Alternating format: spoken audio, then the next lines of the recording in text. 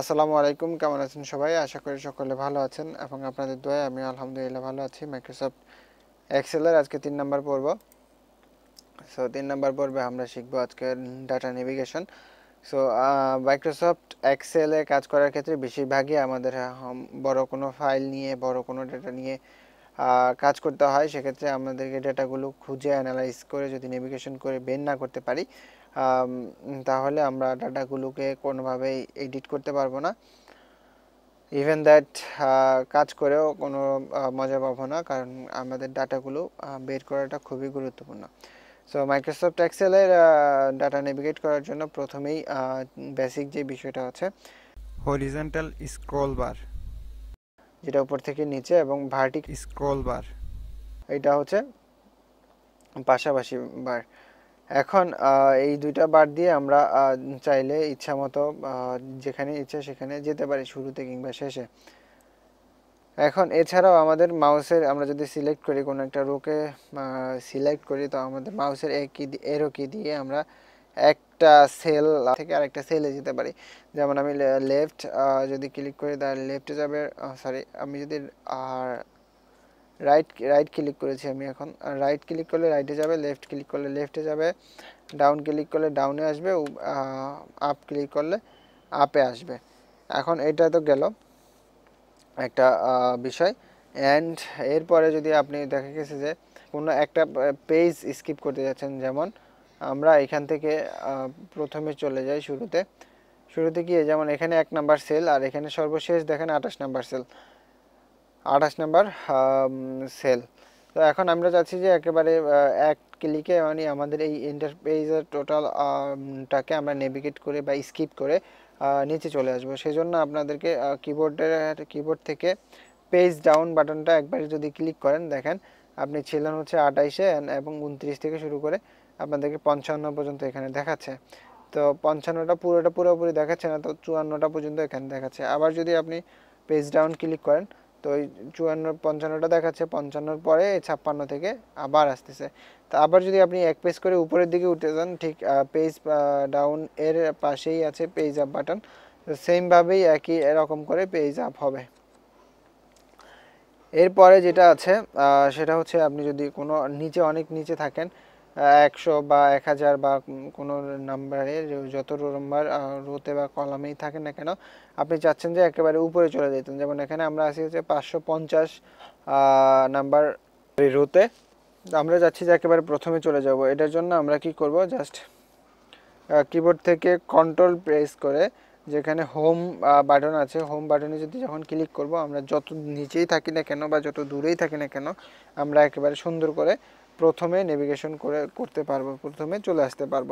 দেন এটাই হচ্ছে বেসিক নেভিগেশনের একটা টুল আবার দেখা গেছে যদি আমরা সেল টু সেল ডাটা এন্ট্রির ক্ষেত্রে সেল টু সেল যদি নেভিগেশন করতে চাই, তাহলে আমরা ট্যাব ক্লিক করে আমরা কলাম নেভিগেশন করতে পারি। এক কলাম থেকে আরেক কলাম নেভিগেশন করতে পারি ভার্টিক্যালি আবার যদি আমরা রাইট থেকে লেফটে আসতে চাই, তাহলে শিপ শিপ বাটন চেপে চেপে যদি ট্যাব ক্লিক করি, আমাদের রাইট থেকে লেফটে আসবে।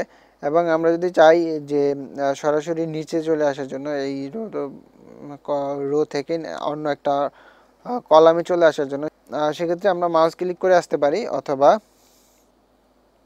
হ্যাঁ মাইক্রোসফট এক্সেলের আরেকটা টুল আছে, যেটার নাম হচ্ছে ফাইন্ড অ্যান্ড সিলেকশন টুল এই টুলটার মাধ্যমে আমরা ডাটা ফাইন্ড করতে পারি। সো এই টুলটাকে সহজে অ্যাক্সেস করার জন্য আমরা সিম্পলি কন্ট্রোল কিবোর্ড থেকে কন্ট্রোল অ্যাপ বাটন সিলেক্ট করলে এখানে আমাদের একটা পপ আপ উইন্ডো হবে।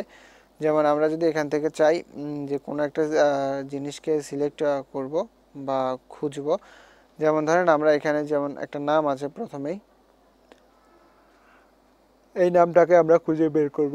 তো আমরা এখানে লিখব যে এই নামটা M O N T A N A আমাদের ক্যাপলকটা সিলেক্ট করা আছে, তাই আমাদের লেখাগুলো এরকম আসছে। এন টি এ এন এ লিখে যখন আমি ফাইন্ড অলে ক্লিক করব, তো দেখেন আমাদের এখানে দিয়ে দিচ্ছে শিট ওয়ানে কত নম্বর লাইনে আছে বা কত নম্বর কলামে আছে। এবং এটা হচ্ছে এইটা এন ফাইন যদি ফাইন নেক্সট দেই, তারপরে নয় নাম্বারটাই আছে। তারপরে হচ্ছে ফাইন যদি নেক্সট দেই, তাহলে শিট ওয়ানের এই যে ডলার সাইন দিয়ে সি এইট এইটার মধ্যে ভ্যালু হচ্ছে এইটা ফরম্যাট দেখাচ্ছে না। তো এইখানে যদি আমি ক্লিক করি, এটা এখানে আসতেছে। আবার ক্লিক করলে এখানে আসতেছে ক্লিক করলে এখানে আসতেছে। সেখানে কতটা না সেলে আসছে সেটাও দেখাচ্ছে। যেমন আমি যদি এটা এখানে যাই, তাহলে এটা হচ্ছে কত? সি সত্তর।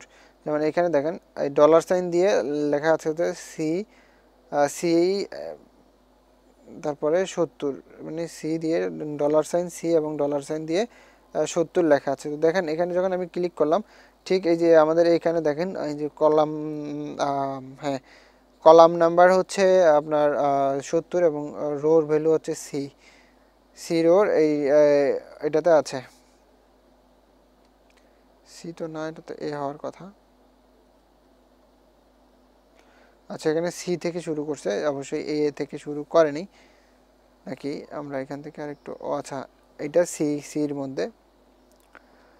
সির মধ্যে আছে সির সত্তর নাম্বার রোতে এটা আছে, সত্তর নাম্বার কলামে এটা আছে। তো এক এক ক্লিকে আমরা এটাকে অ্যাক্সেস করতে পারতেছি। ঠিক আরেকটা বিষয় আছে যেমন replace and find and replace তো আমরা চাইলে এই ওয়ার্ডটাকে মানে সম্পূর্ণভাবে একবারেই আমরা সমস্ত জায়গা থেকে রিপ্লেস করে দিতে পারি। যেমন এই ওয়ার্ডটা আমরা এখানে ফাইন্ড উইথ এইটা এটাকে লিখলাম, এখান থেকে আমি জাস্ট আমার নামটা লিখে দিচ্ছি যে আমি এখানে আমি আমার নামটা লিখে দিব। তো এখানে রিপ্লেস অলে যদি ক্লিক করি, তা সিম্পলি যদি রিপ্লেস অলে ক্লিক করি দেখেন সব জায়গায়, এখানে তিরানব্বইটা জায়গায় এই নামটা পেয়েছে এবং এখানে যদি আমি ওকে ক্লিক করি, প্রত্যেকটা জায়গায় দেখেন আমার নাম হয়ে গেছে এখন। ঠিক আছে? এটা হচ্ছে খুব শর্টকাটে ডেটা নেভিগেট করা বা খুঁজে বের করা অপশন অপশন বেসটা হচ্ছে সবচেয়ে বেসিক অপশন আমি এটা নিয়ে আরও অ্যাডভান্স আলোচনা করব ডিটেইলে সো ততক্ষণ পর্যন্ত ভালো থাকবেন, সুস্থ থাকবেন। আমার জন্য দোয়া করবেন। আল্লাহ হাফেজ।